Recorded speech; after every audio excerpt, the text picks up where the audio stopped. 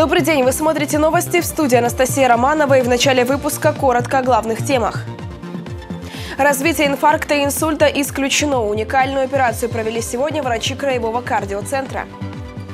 Преодолеть сотни километров ради высокой доброй цели. Благотворительный автопробег «Сердце Алтая» из Барнаула в Турачак стартовал сегодня. Алтай продолжает серию домашних игр в турнире высшей хоккейной лиги. На этот раз соперниками подопечных Евгения Бакланова стали чебоксары.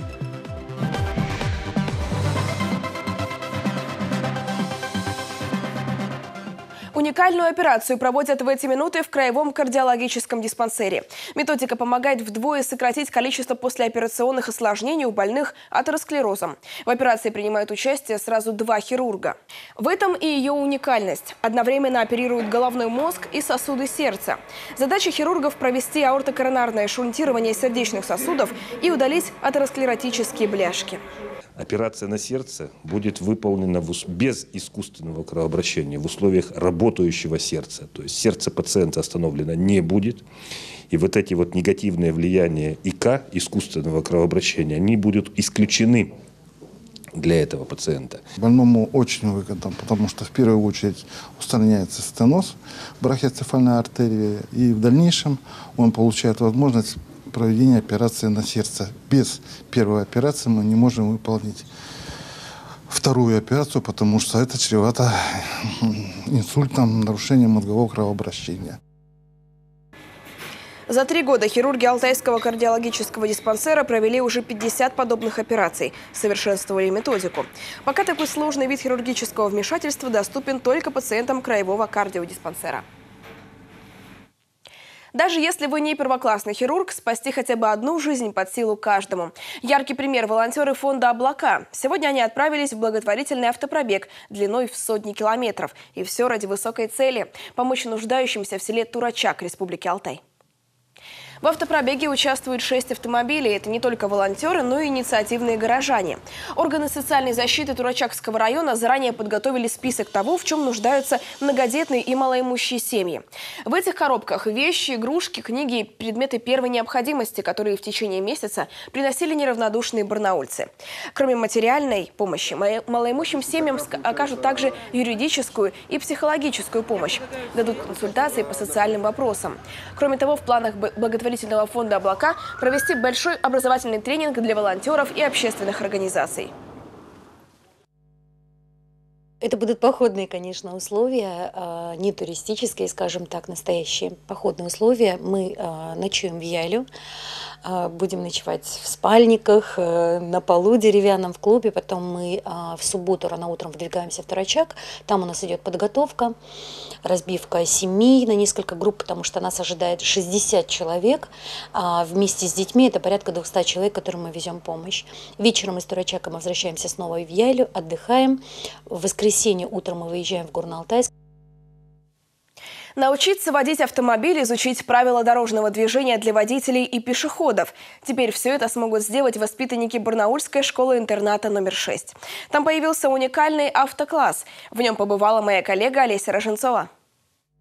Первоначально сложновато, но потом поехать. Десятиклассник Ростислав Гранкин только осваивает новую для себя технику. Это тренажер «Зорница». На нем можно отработать навыки вождения автомобиля. У машины множество режимов. Это разные города, погодные условия и время суток. Мы сейчас э, этап на автодроме проходим, потому что нам сперва, прежде чем в город ехать, нужно научиться трогать автомобиль с места правильно, потому что не всегда получается. Э, в основном у новичков глохнет часто машина. Как компьютерная игра, только в более реальных условиях. Так говорят о новом оборудовании в школе. И даже если ребенок с инвалидностью в будущем не сможет получить права, навык вождения полезен детям с поражением опорно-двигательного аппарата. Особое внимание уделяет и безопасности пешеходов. Для этого в автоклассе есть несколько макетов города. Там можно смоделировать любую ситуацию на дороге. Зачастую любой э, и здоровый, и взрослый человек теряется в реалиях вот, дорожного движения и э, вот той быстроты движения, которая происходит на дорогах. А ребенку с ограниченными возможностями здоровья нужно отработать навык э, поведения на дорогах до автоматизма. Это единственный подобный класс в Алтайском крае. Все оборудование адаптировано для детей с инвалидностью. Часть средств на него выделили спонсоры. Всего проект автокласса стоил 3 миллиона рублей. Лучше они здесь да, будут э, где-то, э, может быть, нарушать да, в процессе обучения, но э, выйдя на дорогу, э, тем более это дети, которым сложнее да, находиться на, на дороге, на улице, э, им будет в дальнейшем проще. Ну а чтобы закрепить знания, полученные в классе, в школе-интернате номер 6 появилась специальная площадка. Здесь установлены дорожные знаки, светофоры и четыре пешеходных перехода. Все для того, чтобы дети поняли, как правильно и, главное, безопасно вести себя в городе. Олеся Роженцова, Денис Кузьменко. Новости.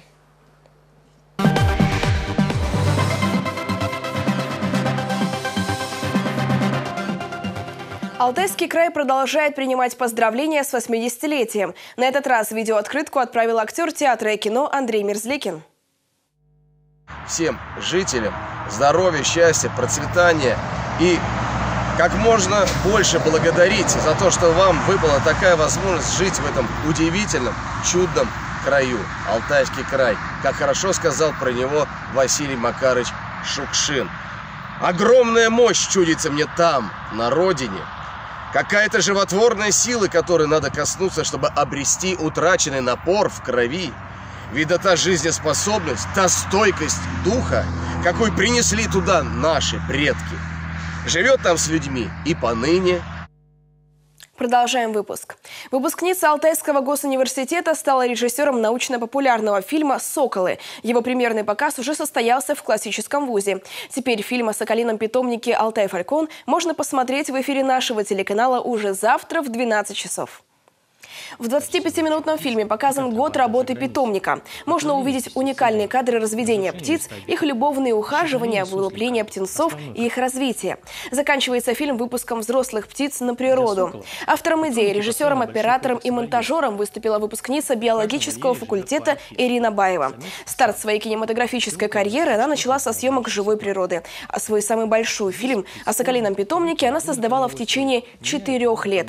На съемки ушло полтора года, а все остальное время Ирина занималась поиском аппаратуры, написанием музыки и монтажом. Там начинается от вылупления птенчика, и потом показано, то есть как он растет, вот э, ему несколько дней, вот его подкладывают родителям, потом как ему, его кольцуют в двухнедельном возрасте, как у него в 4 недели он покрывается перьями, то есть полностью до взрослой птицы. А когда он вырос, молодая птица, показано, во-первых, как можно тренировать птицу для соколиной охоты, если ее не для выпуска природы, а для соколиной охоты оставлять. И показано, как других молодых птиц выпускают природу.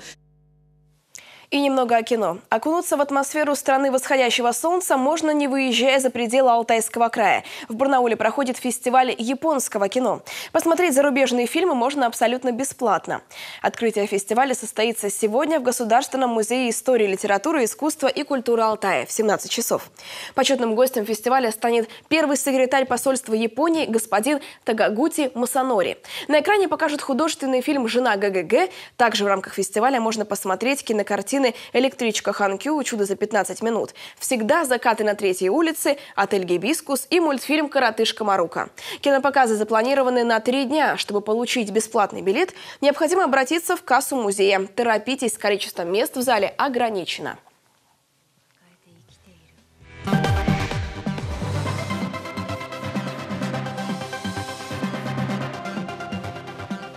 И к новостям спорта. Лучше бегать по траве, чем сидеть на ней. Сотрудники Управления по контролю за оборотом наркотиков МВД России по Алтайскому краю провели футбольный турнир «Мы выбираем спорт». В нем участвовали пять команд, в составе каждой 11 человек. В них вошли учащиеся образовательных учреждений города Барнаула. Цель турнира – пропаганда здорового образа жизни среди подрастающего поколения и профилактика совершения правонарушений подростками. Первое место заняла команда Центрального района, второе – Ленинского, третье – Железнодорожного района. Участники соревнований говорят, что такие турниры – наглядный пример того, как хороша жизнь без наркотиков. Чтобы люди понимали, что это никому не надо чтобы занимались здоровым образом жизни, спортом. Он важен, мне кажется, для поддержки своего тела, здоровья и духа. Алтай продолжает серию домашних игр в турнире высшей хоккейной лиги. На этот раз соперниками подопечных Евгения Бакланова стали Чебоксары. Как сложился для Алтая третий матч сезона, смотрите далее. К играм с чебоксарами Алтай подошел, имея в активе победу и поражение. У чебоксар же играми в Барнауле только стартовал сезон. И начали гостя с места в карьер. Уже на пятой минуте первую шайбу забросил Сергей Иванов.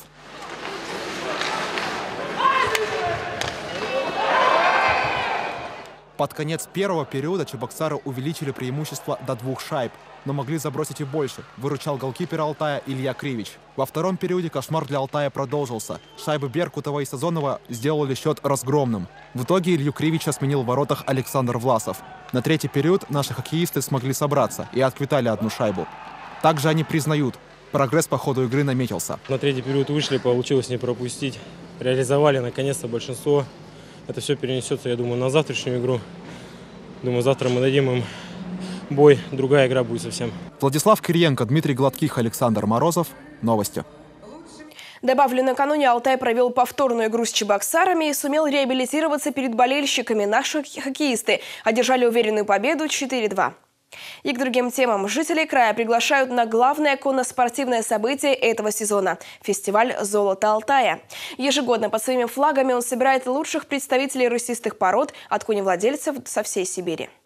По словам организаторов, «Золото Алтая» – это уникальное сочетание российских традиций конных состязаний, прекрасные возможности провести время всей семьей, приобщиться к культуре конного спорта и насладиться развлекательной программой.